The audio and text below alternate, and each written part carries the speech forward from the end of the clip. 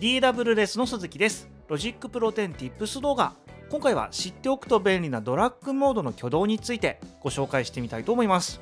このドラッグモードはロジックのウィンドウこの右上あたりにあるこのドラッグという項目で切り替えることができるんですがこちらで何が選ばれているかによってリージョンを移動した時の挙動が変わってくるという形になっております。では実際に各モードでどのような挙動になるのかを見ていってみましょう。まずはオーバーラップ。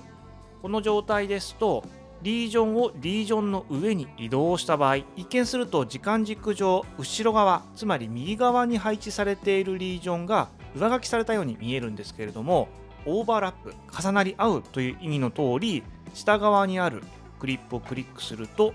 この境界線というものは常に保つことができるようになっています。もちろん1つのトラックの中で同時に再生できるオーディオリージョンというのは1つですのでこの状態で再生すると4小節目から2つ目のクリップが再生されることになるんですけれども。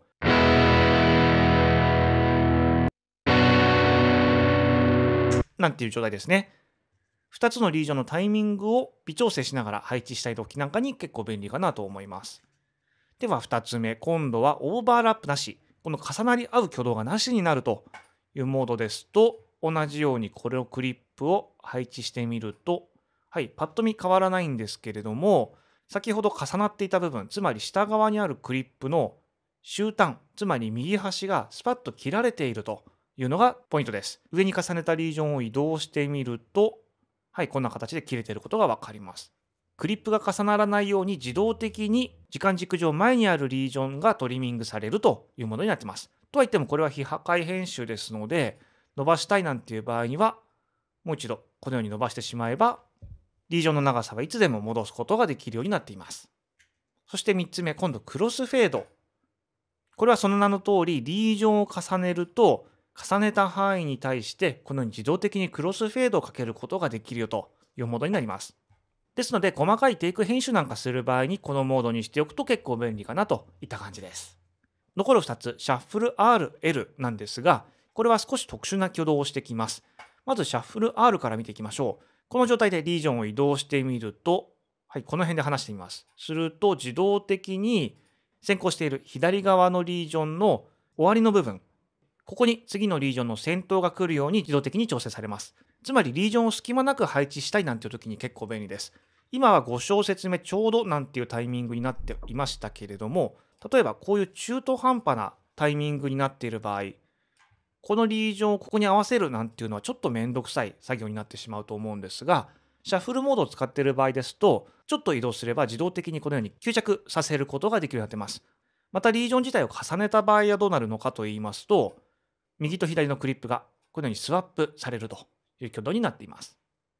また、リージョンのサイズを変更する場合にも少し挙動が変わってきます。例えば今、この右側のリージョンには先頭部分に無音の部分が少し残っています。こちらの長さを詰めてしまおうなんてした場合通常のモードであればリージョンの位置自体は変更されないんですけれどもシャッフル R モードの場合ですと詰めた分だけ先行しているつまり左側のリージョンの発音タイミングが後ろ側にずれるという挙動になってきます。右側のリージョンの開始地点を基軸に先行するリージョンのタイミングが変わってしまいますのでちょっと注意が必要かなと思います。では同じように今度シャッフルの L モードこちらも見ていきましょう。リージョンを移動する場合、重ねた場合の挙動というのは一緒なんですが、このモードではサイズ変更した場合の挙動が変わってきます。先ほどと同じように右側のリージョンの先頭無音部分を詰めてみましょう。そうすると、今度はシャッフル L ですので、左側のリージョンの終端ポイント、こちらを維持して自動的に右側を詰めるという挙動をしてくれます。逆の見方をすると、シャッフル L と R の違いというのは、リージョンの長さを変化させた時の挙動が変わってくるということになるわけです。ご覧いただいて分かる通り、このシャッフルモードというのは音楽制作の中ではあまり使用頻度高くないと思うんですけれども、一部の作業、例えば映像に合わせて音声を編集したい MA 系の作業をするなんていう場合であったりですとか、楽曲の一部分をカットしてショートバージョンを作りたいなんていう場合にはこのシャッフルモード結構便利だったりします。ですので、こちらも用途に応じて使い分けていただくという形になるのかなと思います。ちなみに今回はオーディオのリージョンに対して挙動を見てきましたけれども、シャフクロスフェードモード以外の挙動については、ミディリージョン、つまり打ち込みのデータでも全く同じように挙動してくると。特に打ち込みの場合、私は結構リアルタイムでバコバコ上から重ねて取っていってしまうことが多いので、このドラッグモード、オーバーラップの方が、ここが重なっているよっていうのが分かるっていう意味で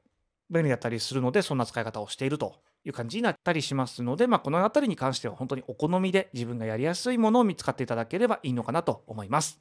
ということで、今回はドラッグモードの挙動についてご紹介してみました。リージョンの編集するときに結構知っておきたい項目だと思いますし、何かのタイミングで変えてしまって、いつもとなんか挙動違うな、なんていうことも起こりやすい項目かと思いますので、ぜひ押さえておいていただければと思います。それでは今回もご視聴ありがとうございました。